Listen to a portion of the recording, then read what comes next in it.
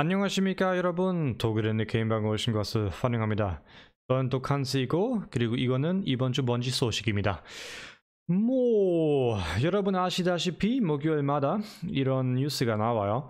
그리고 이번 주에는 음, 오시리스의 매치메이킹에 대한 뉴스가 나왔어요. 그거 다시 어, 변경될 거예요. 그거는 다음 주부터요. 음, 일단은 왜 변경될 거예요 뭐 여기 쓰여 있어요.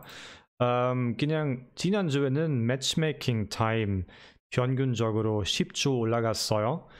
그리고 수요자들이 평균적으로 그냥 수요자마다 평균적으로 33%덜 그냥 50하늘을 해냈어요.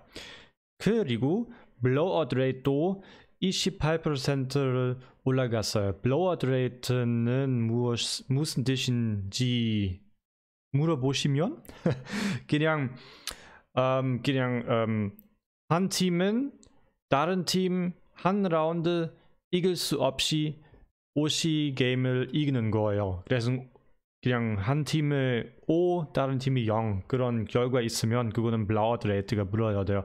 그리고 번지에 따라 어, 그냥 오시의 목적은 그냥 수호자들이 게임을 많이 하고 그리고 이 blowout rate가 덜 있으면 좋겠다는 그런 목적이 있어요. 그래서 다시 변경될 거예요.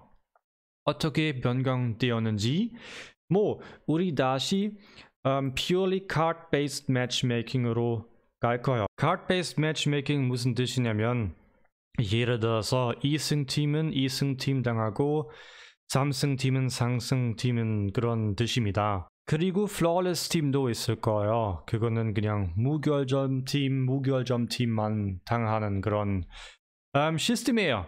네, 이거는 그냥 이번 주 번지 소식입니다. 제가 제일 중요하다고 생각하는 부분이 이란 말입니다.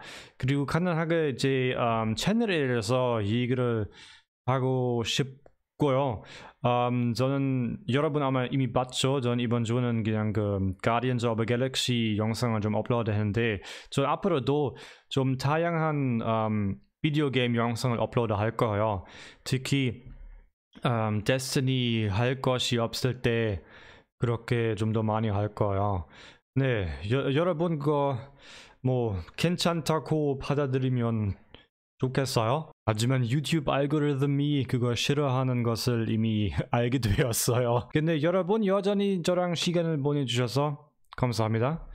그리고 다음 영상에서 봐요. 아니면 트위치에서 봐요. 바이바이.